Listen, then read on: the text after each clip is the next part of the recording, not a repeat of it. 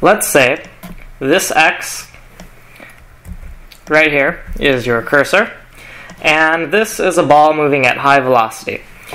If it's moving from here one frame to here the next frame, it's not going to detect any collision with this red point right here. In order to solve that, you need to use something called capsule collision, where you project the velocity vector, illustrated by this guy right here, in front of the moving object. And then you give that velocity vector a thickness, illustrated by these purple points. So if I take this point and I execute my script, it lights up green because it is within uh, the bounds of the thickness of my velocity vector. If I move it out of here, it's going to turn red. So this is uh, how I would implement a cursor uh, colliding with a fast moving object. Now, what if instead of this being a cursor, you wanted to be another ball, right? Well, I already implemented that too. So if I just change something in my script. Okay.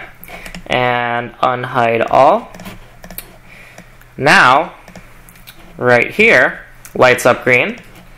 And if I move it over here, it's uh, too far away because this is a rect rectilinear box here. The line has thickness, but it's not rounded at the edges because ideally you would just, uh, you know, have your ball here in one position and here in one position, so there's no need to check for anything really past here. Um, anyways, if I uh, move this down here, execute, lights up, so it works pretty well.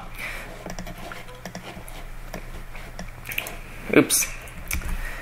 I really didn't code this for MaxScript. I really don't see a reason to do this in MaxScript. But MaxScript is really good for prototyping visual things. Um, it's very easy to see what you're working with when you're working with geometric formulas. And so every time I want to experiment, I hop into MaxScript. I'm going to translate this into ActionScript now so I can uh, code some bouncing balls, and it's going to be pretty awesome. Um, it's kind of weird to say that I'm going to code in one language first and then go to another, but MaxScript's just so much easier to debug when it comes to visual things like this that it was just the way to go. So the code will be in my blog if you want to take a look at it. The demo file will be in there too. So if you're curious on you know how to do this kind of math, uh, well, the formula is in there. And I actually used this uh, cool uh, formula for the intersection of two vectors instead of using line formulas. So I was pretty proud of it. Um, maybe you're really good at math and you think it's lame, but hey, check it out. Yeah, just do it. Okay, bye bye.